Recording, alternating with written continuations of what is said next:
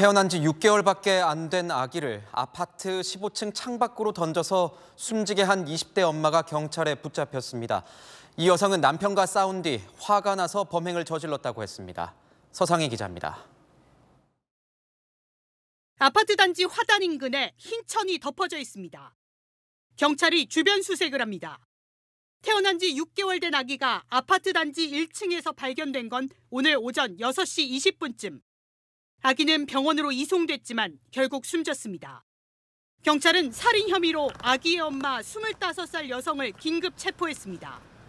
여성은 오늘 오전 6시 15분쯤 아파트 15층인 자신의 집에서 생후 6개월 된 자신의 아기를 창밖으로 던져 살해한 혐의를 받고 있습니다.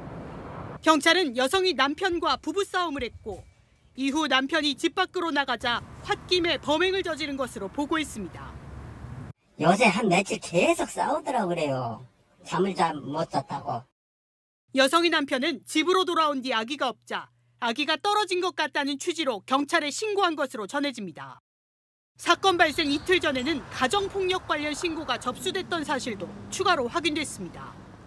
지난 1일 새벽 여성이 직접 가정폭력이 있다며 신고해 경찰이 출동했지만 두 부부가 사건 처리를 원치 않아 종결됐습니다. 경찰은 구체적인 사건 경위 등을 조사한 뒤 20대 여성에 대해 구속영장을 신청할 예정입니다. 채널A 뉴스 서상입니다.